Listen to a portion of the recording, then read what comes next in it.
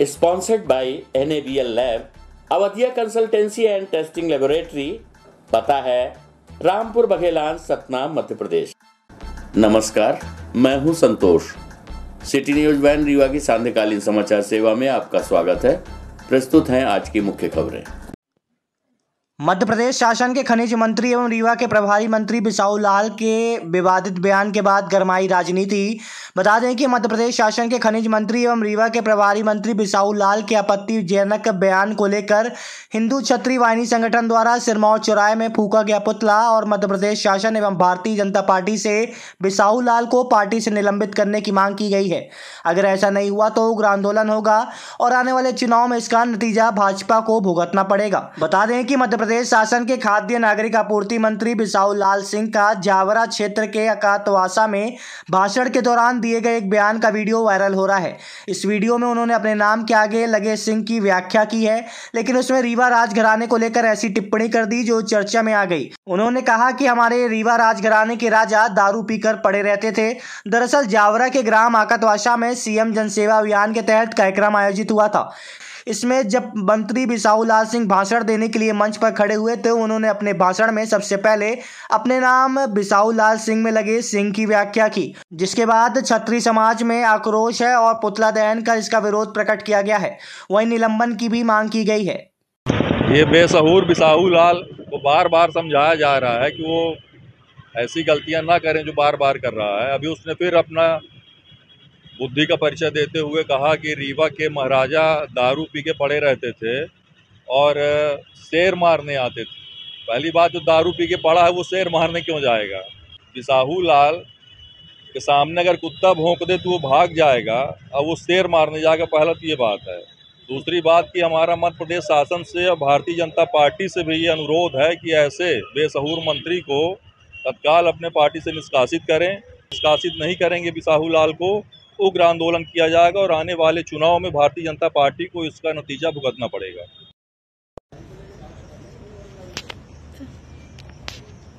रीवा राज्य में जो वहाँ के रहने वाले आदिवासी हैं, उन्हें रीवा महाराजा द्वारा सिंह की उपाधि दी गई। और इसका कारण यह था कि जब राजा महाराजा शिकार करने जाते थे तो आदिवासी लोग एक मचान बनवाते थे।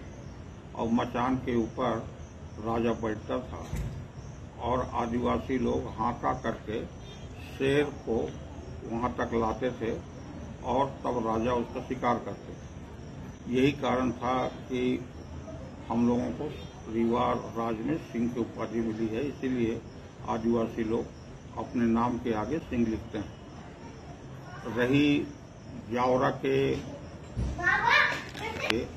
एक सम्मेलन में बार बार उनको जानकारी न होने के कारण लोग बिसाहू लाल साहू बोलते थे। इस कारण मैंने वहाँ पे सुनाया था कि ये उपाधि राजा महाराजाओं द्वारा प्रदान की गई है और हम लोग बिसाहू लाल सिंह पूरा नाम से जाने जाते हैं। अभी अभी रीवा महाराजा आदरणीय पुष्पराज सिंह जी से मेरी बात हुई। उन्होंने एक्सेप्ट किया कि हमारे, हम लोगों के पुरखों द्वारा यहाँ के आदिवासियों को सिंह की उपाधि दी गई थी। और आपने जो कहा है वो सही है कि हम लोग मचान में बैठ के शेर का शिकार करते थे।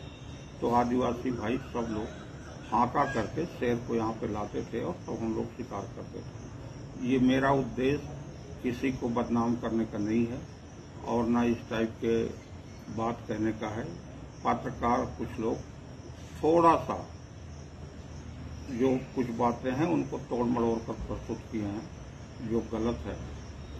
मुझे इसमें कहने में कोई संकोच नहीं है कि सदैव से हम लोग अपने क्षेत्र में राजा महाराजाओं का सम्मान किए हैं और करते रहे। सिरमौर एसडीएम और सिमरिया नायब तहसीलदार को हटाने अनिश्चितकालीन धरना प्रदर्शन शुरू। सिमरिया क्षेत्र के कांग्रेस नेता दिवाकर द्विवेदी एवं प्रदीप सौगोरा के नेतृत्व में अनिश्चित धरना शुरू। अनिश्चितकालीन धरना शुरू। आपको बता दें कि सिमरिया तहसील में पदस्थ एसडीएम नीलमणि अग्निहोत्री और नायब तहसीलदार को हटाने के लिए सिमरिया क्षेत्र के कांग्रेस नेता दिवाकर द्विवेदी एवं स्थानीय लोगों के द्वारा अनिश्चितकालीन धरना शुरू किया गया है। सिमरिया विधानसभा में व्याप्त भ्रष्टाचार अधिकारियों की तानाशाही रवैया के खिलाफ क्रमिक जन आंदोलन की चेतावनी पहले ही स्थानीय लोगों ने कलेक्ट्रेट कार्यालय पहुंचकर ज्ञापन पत्र के माध्यम से दी थी। जनमानस के सहयोग से क्षेत्र के लोगों ने रैली निकालकर एसटीएम नीलमणि अग्निहोत्री और नायब तहसीलदार अनुपम पांडे को हटाने की मांग की गई है। आंदोलनकारियों ने आरोप लगाते हुए कहा कि इन दोनों भ्रष्ट अधिकारियों को नहीं हटाया जाएगा, तब तक यह अनशन अनवरत जारी रहेगा। आइए आपको दिखाते हैं पूरे कार्यक्रम की झलकियाँ और सुनाते हैं अनशनकारियों का क्या है कहना। ये हमारा एक बड़ा मुद्दा था, जिसको लेके हम लोग कभी कलेक्टर साहब को ज्ञापन भी दिए थे कि हमारे यहाँ व्यापक रूप से भ्रष्टाचार जड़ों तक फैला हुआ, गाँवों तक फैला हुआ और गरीब आदमी यहाँ पर परेशान हो रहा है, उसके कोई काम नहीं हो रहे, बिना पैसे दिए, बिना उसके कोई काम नहीं होता और अधिकारियों के द्वारा उनके साथ बदतमीजी की जाती है लगातार। उसके लिए हम लोग जिलाध्यक्ष महोदय से मिले थे और ये कहा था कि इनको आप एक हफ़्ते के अंदर, सत्रह तारीख के अंदर कहीं ना कहीं स्थानांतरित कर दीजिए जहाँ भी रहेंगे, एसडीएम और तहसीलदार ही रहेंगे, कोई बाबू तो हो नहीं जाएँगे। लेकिन वो मांगे अभी तक उन्होंने कलेक्टर साहब ने उस पर ध्यान नहीं दिया। और यहाँ पे जितने लोग हैं, कोई ढोई भीड़ नहीं है। ये सब सारे के सारे प्रताड़ित लोग हैं, गाँव के आम लोग हैं।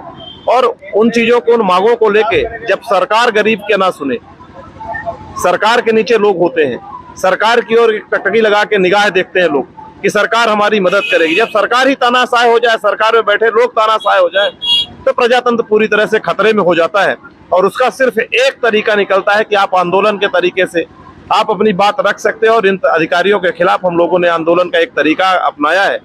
और गांधीवादी तरीके से हम लोग यहाँ पर अनिश्चितकालीन धरना देंगे जब तक ये लोग हट नहीं जाएँगे। और इन एसडीएम तहसीलदार और यहाँ पे भ्रष्ट अधिकारी चाहे वो पुलिस का अधिकारी हो यहाँ पे टीआई चोर को छोड़ देगा और ईमानदार आदमी का टेंट उखाड़ने आएगा। यहाँ पर गांधीवादी तरीके से हम कार्यक्रम कर रहे थे, यहाँ पर कल टीआई आ रहा था।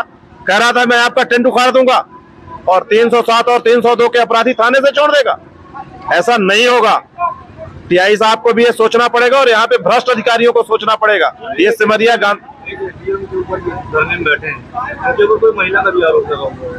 उस पर हम ज़्यादा नहीं कह सकते। उस उस आरोप में क्या दम है, क्या दम नहीं है, वो पुलिस की जाँच का विषय है। पुलिस उस पर जाँच कर रही है, जो दूध का दूध और पानी का पानी आ जाएगा। वो तो अभी निश्चित रूप से विचाराधीन है, ऐसा हमने भी अखबारों के माध्यम से सुना है। तो आगे चल के जो भी होगा, उसकी सच्चाई सामने आ जाएगी। रीवा के सुपर स्पेशलिटी अस्पताल में मरीज़ के नाम से इशू हुआ गाइड वायर, हार्ट स्टंट गायब, जाँच जारी। स्टोर में चल रहा बड़ा हेरफेर, जारी है जाँच पर जाँच, पर किसी को नहीं आ रही है आँच। बता दें कि हाइट्स की कंपनी ने जब से ज़िम्मेदारी संभाली है, तब से लगातार कई चोरी की घटनाएँ घट रही है। रीवा के सुपर स्पेशलिटी अस्पताल से इंस्ट्रूमेंट गायब होने का सिलसिला निरंतर जारी है। इस बार दिल का ब्लॉकेज खोलने में उपयोग होने वाला गाइड वायर, हार्ट स्टंट ही गायब हो गया है। यह स्टंट स्टोर से मरीज़ के नाम से इशू हुआ, लेकिन लगा नहीं, जिसके बाद से अब तक तलाश जारी है। हम आपको बता दें कि सुपर स्पेशलिटी अस्पताल में स्पेशल बीमारियों के इलाज की ही व्यवस्था है, जहाँ न्यूरोलॉजी, कार्डियोलॉजी और नेफ्रोलॉजी से जुड़ी बीमारियों का इलाज होता है। ये अस्पताल पूरी तरह से पेड है इलाज का रुपया लगता है, यहाँ दवाइयाँ और उपकरण भी काफ़ी महँगी है। इसी में यहाँ सेंध लगाया जा रहा है। पैथोलॉजी विभाग के बाद अब कार्डियोलॉजी विभाग में इंस्ट्रूमेंट के गायब होने का मामला प्रकाश में आया है। दरअसल मुख्य स्टोर से सभी विभागों के स्टोर को उपकरण उपलब्ध कराया जाता है। इसके बाद विभागीय स्टोर से ओटी और वार्डो को सामान दिया जाता है। कार्डियोलॉजी विभाग के ओटी स्टोर से दिल के ब्लॉकेज में उपयोग होने वाला heart guide wire stent issue तो किया गया, लेकिन मरीज़ को लगा ही नहीं। अब स्टंट का पता ही नहीं चल रहा, गाइड वायर हार्ट स्टंट के गायब होने का मामला सामने आने के बाद अब विभागीय अधिकारियों के होश उड़े हुए हैं। गाइड वायर हार्ट स्टंट की तलाश जारी है, टेक्नीशियन व स्टाफ को नोटिस जारी किया गया है। हम आपको बता दें कि दिल की बीमारी से जुड़े उपकरण हज़ारों और लाखों रुपए में आते हैं। एक गाइड वायर हार्ट स्टंट भी गायब होने पर प्रबंधन को सीधे तौर पर हज़ारों रुपए तक का नुकसान उठाना पड़ता है। ऐसे में एक गाइड वायर स्टंट भी यदि यहाँ से गायब कर बाज़ार में बेच दिया गया तो बेचने वालों को हज़ारों रुपए एक झटके में ही मिल जाएँगे। हालाँकि सुपर स्पेशलिटी में उपकरणों का हेर फेर नया नहीं है। आयुष्मान कार्ड से उपकरण इशू कराकर किसी और को लगाने का धंधा यहाँ बड़ी तेज़ी से फल फूल रहा है। यहाँ कोई भी मामला सामने आने के बाद जाँच कमेटी बना दी जाती है और जाँच पर जाँच होती रहती है। अस्पताल अधीक्षक डॉक्टर अक्षय श्रीवास्तव ने बताया कि उनके पास गाइड वायर स्टंट गायब होने की सूचना आई है, जिस पर जाँच की जा रही है। जाँच के बाद ही सच्चाई का पता चल सकेगा आपको बता दें कि पिछले कुछ दिनों पहले एड्स की किट भी चोरी हुई थी, जिसमें अभी तक जाँच इनकी पूरी नहीं हो पाई है। बता दें कि उस समय सात दिन का समय बताया गया था, लगभग अब एक महीने बीत जाने के बाद भी इनकी जाँच जारी है। भगवान भरोसे चल रही व्यवस्था का अब कौन लगाएगा पार, ये देखने वाली बात होगी। प्रस्तुत है सुपर स्पेशलिटी अस्पताल के अधीक्षक डॉक्टर अक्षय श्रीवास्तव से प्राप्त जानकारी के अंश। एच आई वी किट के बाद अभी स्टेट बाल चोरी हो गया है, क्या ऐसा जानकारी मिली, क्या मामला है कैथ लैब से ये जानकारी आई है कि वहाँ पे जो गाइड वायर यूज़ होता है स्टैंड तो नहीं गाइड वायर एक यूज़ होता है जो स्टैंड को डालने के लिए पहले डाला जाता है। उसके गायब होने की सूचना हमें प्राप्त हुई है और उसके लिए जाँच की जा रही है। और चूँकि हमारे यहाँ से सारी सेंट्रल स्टोर से सप्लाई ओटी और कैथ लैब को किया जाता है और कैथ लैब में ये सामान स्टोर किया जाता है और वहीं से पर पेशेंट के हिसाब से हर पेशेंट का एक हिसाब बनता है और उसको पेमेंट सामान इशू किया जाता है। तो जैसे जो कि कोई पेशेंट होता है तो उसका में जितना सामान लगता है, हर सामान का एक रिकॉर्ड बनता है और उस पर कंसल्टेंट के साइन होते हैं। तो इसी संबंध में एक केस में ऐसा प्रतीत हुआ, हो रहा है कि केस में गाइड वायर पर साइन है पर टू गाइड वायर शायद नहीं लगा है। तो इसकी पूरी जाँच होने के बाद ही और कंसल्टेंट से बात करने के बाद ही क्लियर हो पाएगा, स्पष्ट हो पाएगा कि सही में गायब हुआ है या फिर कागजों का कार्रवाई में कुछ प्रॉब्लम आई है। इसके पहले भी एक जाँच चल रही है आपके यहाँ एच आई किट चोरी होने की उसमें क्या हुआ एच आई वी किट जा, की जाँच डीन ऑफ़िस अधिष्ठाता कार्यालय से की जा रही है जिसमें वहाँ के माइक्रोबायोलॉजी विभाग के डिपार्टमेंट के और अन्य विभागों के तीन लोग शामिल हैं। और उनके द्वारा अभी जाँच की जा रही है। अभी उसकी रिपोर्ट हमें प्राप्त नहीं हुई है। जैसी रिपोर्ट प्राप्त होगी तभी बता पाना संभव होगा कि उसका रिज़ल्ट क्या निकला। सर वो भी जाँच तीन से सात दिन में शायद पूरी होनी थी अभी तक पूरी ये जो जाँच करता के जो चांस समिति के अध्यक्ष हैं, वही लोग बता पाएँगे कि क्या रीज़न है कि टाइम लग रहा है। हो सकता है कि रिकॉर्ड्स क्योंकि बहुत लंबे हैं, हर महीने का रिकॉर्ड चेक करना उसमें टाइम लगता है तो इसलिए थोड़ा टाइम लग रहा होगा। रीवा में है नकली महापौर अजय मिश्रा। बाबा कौन? तलाश में लगी साइबर सेल पुलिस, लोग भी परेशान। बता दें कि रीवा नगर निगम के महापौर अजय मिश्रा बाबा हैं, लेकिन इन दिनों एक और नकली महापौर अजय मिश्रा बाबा सोशल मीडिया में एक्टिव है। ये कौन है? इसकी तलाश तो फ़िलहाल पुलिस और निगम अधिकारियों ने भी शुरू कर दी है और इसका खुलासा भी जल्द हो जाएगा। इस बात को लेकर शिकायत साइबर सेल तक पहुँच गई है। जाँच भी पुलिस द्वारा की जा रही है क्योंकि मामला शहर के मुखिया महापौर से जुड़ा हुआ है। दरअसल फेसबुक पर एक नकली आईडी महापौर अजय मिश्रा बाबा के नाम से किसी के द्वारा बना ली गई है और उसके द्वारा लगातार पोस्ट वायरल की जा रहे हैं। महापौर अजय मिश्रा बाबा भोपाल प्रवास पर हैं और उनको जैसे इस बात की जानकारी हुई तुरंत नगर निगम सचिव एम एस सिद्दीकी को इस संबंध में शिकायत के लिए आदेशित किया गया और शिकायत की गई। निगम सचिव द्वारा साइबर सेल पुलिस को इसकी शिकायत की गई है, जिसकी जाँच पुलिस कर रही है। माना जा रहा है कि यह आईडी रीवा में ही किसी के द्वारा बनाई गई है और फर्जी आईडी का संचालन किया जा रहा है। हालाँकि पुलिस जाँच में ही सामने आएगा कि आईडी कहाँ से संचालित हो रही है। बता दें कि फर्जी फेसबुक आईडी बनाने का खेल इन दिनों जोरों पर है। लोग बड़े नेताओं के नाम से फर्जी फेसबुक आईडी बनाकर उसका दुरुपयोग करते हैं। अभी बीच में भाजपा उपाध्यक्ष के नाम से फेसबुक आईडी बनाए जाने का मामला आया था तो वहीं कलेक्टर मनोज पुष्प के नाम से भी एक फर्जी आईडी बनी थी, जिसमें पुलिस ने कार्रवाई की। अब शहर के मुखिया जय मिश्रा बाबा के नाम से फर्जी फेसबुक आईडी बनाए जाने का मामला प्रकाश में आया है। रीवा में इस समय दो महापौर के चर्चे हैं और दो महापौर मतलब घूम रहे हैं, ऐसा बताया जा रहा है। और फेसबुक आईडी भी महापौर के नाम से बनी है। तो ये क्या है? इसके बारे में आपने शिकायत भी की है आप लोगों के साथ जनता ने एक महापौर नियुक्त किया है। माननीय अजय मिश्रा बाबा ही रीवा के महापौर हैं। ये मुझे इस जो दूसरी फेसबुक आईडी या दूसरा महापौर बन रहा है इसमें तो बहुत बड़ी साजिश लग रही है। और ये साजिश भारतीय जनता पार्टी के लोगों के द्वारा ही ये साजिश की जा रही है। जिसे के खिलाफ हम लोगों ने कल संबंधित थाने में आवेदन दिया है और उस पर साइबर सेल द्वारा मिलने पर उस व्यक्ति के ऊपर हम लोग एफआईआर भी करेंगे। ज़िले में नहीं रुक रही दुष्कर्म की घिनौनी घटनाएँ। एक बार फिर रीवा शहर में नाबालिग छात्रा और युवक के बीच पहले दोस्ती हुई और फिर नज़दीकियाँ बढ़ी और उसके बाद दुष्कर्म किए जाने का मामला प्रकाश में आया है। छात्रा की शिकायत पर पुलिस ने आरोपी युवक को गिरफ़्तार कर लिया है, जिसे न्यायालय में पेश कर जेल भेज दिया गया है और मामले की जाँच की जा रही है। घटना के संबंध में मिली जानकारी के मुताबिक समान थाना क्षेत्र के नेहरू नगर स्थित पौष कॉलोनी में ये पूरा घटनाक्रम पंद्रह अक्टूबर को हुआ है, जिसके बाद कक्षा बारहवीं में पढ़ने वाली पीड़ित छात्रा ने घटना से अपने परिजनों को अवगत कराया और पूरे घटनाक्रम की शिकायत थाना समान में दर्ज कराई गई है। पुलिस ने पीड़ित छात्रा की शिकायत पर आरोपी के विरुद्ध मामला दर्ज कर उसे गिरफ़्तार कर लिया है। बताया गया है कि आरोपी रवि मिश्रा, उम्र 21 वर्ष, निवासी ग्राम लोही थाना कोतवाली शहर के एक कॉलेज में अध्ययनरत है और पहले उसकी छात्रा से दोस्ती हुई, फिर नजदीकियाँ बढ़ी, फिर युवक ने बहला, फुसलाकर दुष्कर्म की वारदात को अंजाम दिया है। पुलिस ने आरोपी को न्यायालय में पेश कर जेल भेज दिया है और इस पूरे मामले की जाँच की जा रही है। लगातार बढ़ रही इस तरह की घटनाओं के पीछे कहीं ना कहीं हम आप सब जिम्मेदार हैं, क्योंकि आजकल अभिभावक अपने बच्चों को समय नहीं देते। उनके साथ समय बिताने या बातचीत का प्रयास तक नहीं करते। साथ ही बच्चों द्वारा उपयोग किए जा रहे मोबाइल के संबंध में भी कोई रोक टोक नहीं करते, जिसकी वजह से बच्चे अक्सर गलत रास्ते में निकल जाते हैं और समय रहते हम उनको समझा नहीं पाते, जिसकी वजह से इस तरह की घिनौनी घटनाएँ घटित होती हैं। जबकि पुलिस और जिला प्रशासन द्वारा लगातार इस तरह की घटनाओं से बचने और सावधान रहने की मुहिम लगातार जारी है। इस तरह की घटनाओं से लोगों को समय रहते सबक लेना चाहिए, वरना हर्ष कुछ ऐसा ही होगा। प्रस्तुत है रीवा से Prakhar Gupta, bureau report, public vibe.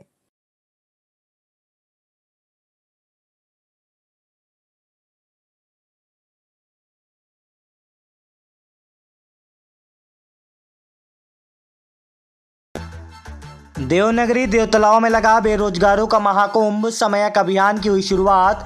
लाखों बेरोजगारों के साथ हुआ रोज़गार के लिए मंथन। आपको बता दें कि देश में लगातार बढ़ रही बेरोजगारी की समस्या। पढ़े लिखे युवाओं को रोज़गार न मिलने के कारण अपराध की ओर अग्रसर कर रही है। आज हर पढ़ा लिखा बेरोजगार युवक लोगों को अपना परिचय बताने में भी शर्म महसूस करता है। देश का संचालन कर रही सरकार के पास न तो रोज़गार उपलब्ध कराने के लिए नीति है और न ही रीत। ऐसे ही बेरोजगारों के लिए आज देवनगरी देवतलाव से समयक के तहत विशेष अभियान छेड़ा गया। इसी कड़ी में आज देवतलाव स्टेडियम में कांग्रेस नेता डॉक्टर एस एस तिवारी की अगुवाई में समयक अभियान कार्यक्रम का आयोजन किया गया था, जिसमें समयक अभियान के मार्गदर्शक भास्कर राव रोकड़े, वरिष्ठ विचारक एवं लेखक तथा मुख्य अतिथि के तौर पर राज्यसभा सांसद राजमणि पटेल शामिल हुए। इस दौरान उन्होंने सरकार की नीतियों पर कई सवाल खड़े किए। वहीं कांग्रेस नेता डॉक्टर एस एस तिवारी ने कहा कि समयक अभियान प्रदेश के हर विधानसभा ज़िले में आयोजित होगा, जिसमें एक जनवरी 2024 को भोपाल में लाखों युवाओं के साथ भविष्य के मुख्यमंत्री को ड्राफ्ट सौंपा जाएगा जिसमें रिटायरमेंट की आयु पैंसठ वर्ष से घटाकर अंठावन वर्ष की जाए। साथ ही समान कार समान वेतन श्रमिक कानून सहित अन्य महत्वपूर्ण मुद्दों पर ड्राफ्ट पास कराने पर चर्चा होगी। आज कार्यक्रम किया जा रहा है। किस तरह के कार्यक्रम में क्या आयोजन ये जो युवा बेरोजगार हैं प्रदेश में ज़िले में और खासकर देवतालाव विधानसभा में जहाँ हम पूरी तरह केंद्रित हैं तो वहाँ जो युवा बारहवीं पास करके उच्च शिक्षा प्राप्त कर रहे हैं या प्राप्त कर लिए हैं और रोज़गार का संकट है, उनका रोज़गार की समस्या का समाधान कैसे हो? और शासन की कौन से रीत नीत है जिनके कारण से युवा बेरोजगार हुए हैं? और युवाओं को रोज़गार मिलने की संभावना कहाँ से बन सकती है? इस विषय पर चिंतन करने के लिए वरिष्ठ विचारक और चिंतक भास्कर राव रोकड़े जी आए हैं और वो सुझाव और सलाह दे रहे हैं कि सत्ता सरकारें जो भी हों जिनके कारण से युवा हताश निराश हो रहा है बेरोजगार हो रहा है उनको रोज़गार के अवसर कैसे मिले? इस विषय पर चिंतन मनन करने के लिए आज ये अभियान चलाया गया। ये सम्यक अभियान इसमें आगे किस तरह का कार्यक्रम होगा? एक तिथि निर्धारित हुई है जिस पर एक ड्राफ्ट बनेगा और लाखों युवा भोपाल में इकट्ठे होंगे एक जनवरी 2024 को। और जो भी सत्ता शासन होगा जिसका जो मुख्यमंत्री बैठेगा हम लोग वो ड्राफ्ट पास करके देंगे। जो महत्वपूर्ण मुद्दे हैं और उसमें से जो रिटायरमेंट की आयु पैंसठ साल है, उसको अंठावन साल करी जाए, जिससे लगभग पाँच लाख तीस हज़ार युवाओं को दोबारा नौकरी के अवसर प्राप्त हों। समान कार्य, समान वेतन है, श्रम कानून लागू करने का है, इस तरह के मुद्दे हैं जहाँ रोज़गार के अवसर पैदा हो सकते हैं। आज की खबरों में बस इतना ही। कल हम फिर मिलेंगे कुछ ताज़ा तरीन खबरों के साथ। तब तक के लिए हमें इजाज़त दीजिए, नमस्कार। Sponsored by N lab Awadhiya consultancy and testing laboratory पता है रामपुर बघेलान सतना मध्य प्रदेश